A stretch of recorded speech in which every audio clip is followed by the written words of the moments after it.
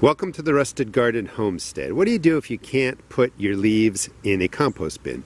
Well, I'm going to show you how you simply put them on top of the bed here, cover them up, and come spring, you'll have great soil. Maybe you don't have room for something like this. That's perfectly fine. You can run your leaves over in a lawnmower, chop them up, that helps a little bit, or just rake them up. We're going to put these maybe four to six inches right on that garden plot, that spot, that four by four space. You can do that anywhere couple of tarps, something to weigh it down, and that's all you really do. Those leaves will be eaten up by worms and such, and you'll have great soil come the spring.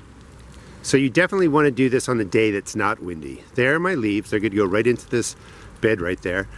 If you can have get them chopped up, that's great. Certain leaves, like oak leaves, are really thick. You definitely want those chopped up. A lot of leaves you can just put into a container like this, crunch them up with your hand and be perfectly fine. So tarps, something to weigh the tarps down. First thing you want to do is just soak the soil down. We're going to be putting a tarp on top of here so when it rains not a lot of water will be getting in there. Soak it in nicely. Next step is to really dump the leaves on. The leaves are down and because the soil was high in this frame bed, you know I put more in the middle. That's perfectly fine. Again, two inches, four inches, six inches.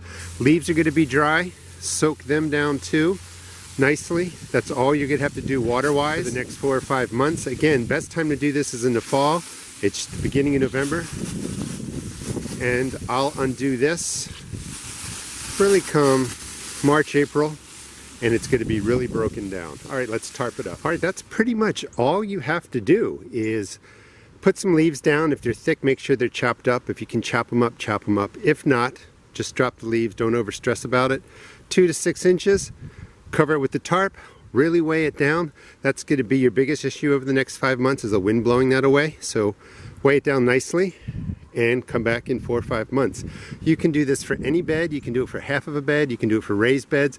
You can do it right on the ground. Anyway, please subscribe. I'll be doing more videos on how to kind of use this principle of putting different things under the tarp, letting it break down, mostly worms, tons of worm castings, and come spring, your garden will be good to go. Thanks for watching.